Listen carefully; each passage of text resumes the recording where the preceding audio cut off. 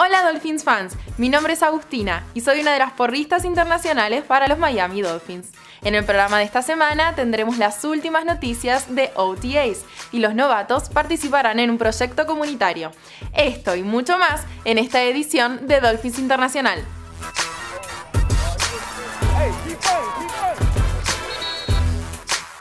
Tres semanas de actividades organizadas por el equipo están completas para los Miami Dolphins con el día 10 terminando ayer. Los chicos terminaron muy fuerte mientras que la práctica estaba dentro del bubble por tercera vez consecutiva. De los ejercicios individuales a los periodos de equipo, los jugadores aprovecharon al máximo cada OTA para mejorar. Ahora tendrán unos días para descansar antes de dirigirse al minicamp. Ahora, mientras el equipo ha estado ocupado en el campo, la clase de novatos tomó tiempo para participar en un evento de Rebuilding Together Broward para AMI Kids de Greater Fort Lauderdale. Cada uno de ellos lanzó a renovar un área de almuerzo para los niños, actualizando la cancha de básquetbol y echaron mulch en las zonas comunes.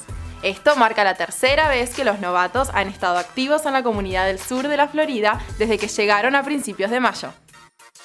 Dolphins fans, con audiciones finales este fin de semana es casi la hora de averiguar quién será el próximo grupo de Miami Dolphins Cheerleaders.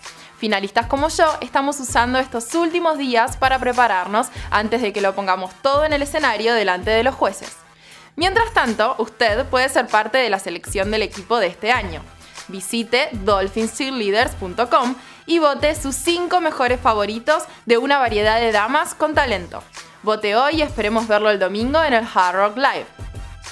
Bueno, esto es todo lo que tengo para usted esta semana. Si quiere ver episodios anteriores, visiten Miami Dolphins en su canal de YouTube. Quédense con nosotros para más noticias y acceso a los Miami Dolphins. ¡Go Fins!